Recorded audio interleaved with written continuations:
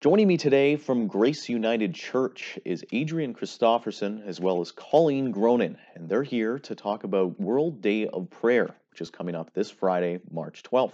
Thank you both for joining me. Thank you very much. So, you guys are hosting a virtual event this year. Uh, could you tell me a little bit about how it's supposed to work?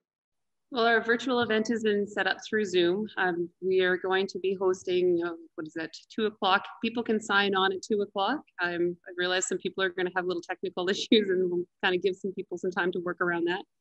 Uh, we'll get an intro from Colleen here and then we'll get started at about quarter past two playing what's, uh, it's a recorded version from Vanuatu of the World Day of Prayer, their service. And what can people expect outside of the service then? Is it kind of just an opportunity for community discussion? Uh, later on, yeah, after they watch it, right?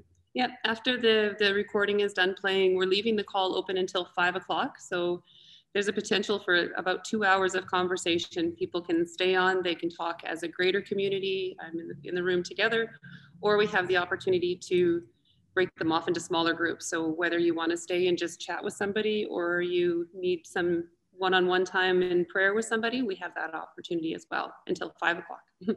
and you're dedicating this year's day of prayer to the memory of Betty Ann Davidson, who was an organizer for you guys for a long time. Could you just maybe talk about the impact that she had on the event in years past? She was actually involved in it for several years. Um, she was the one that hosted it when it was held in the United Church because it um, World Day of Prayer is one that goes to the United Church. Next year, there'll be the Catholic, the year after, the Anglican, and then Knox Presbyterian.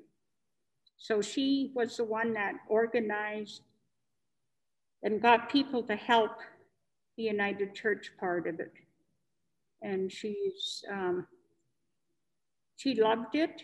It was at a very inspirational time for her. She dedicated her heart and soul to it, as she did the United Church itself. But she really had an impact on people that she met over the years with World Day of Prayer. And I also know that you guys wanted to communicate that all are welcome at Grace United Church. Could you maybe just speak to your level of inclusivity and how important that is? We'd like to put an invitation out to whoever you are, you know, whatever church you do or do not belong to, it doesn't matter. And before we say goodbye, for people who might want to learn more or get involved, where can they go? Your, your best bet is, is going to either our website or our Facebook page. Our website's www.graceunitedchurch.ca. And if you go to our calendar, that's the place that you're going to see where all of our events are. So you'll have a look and you'll see that World Day of Prayer in there.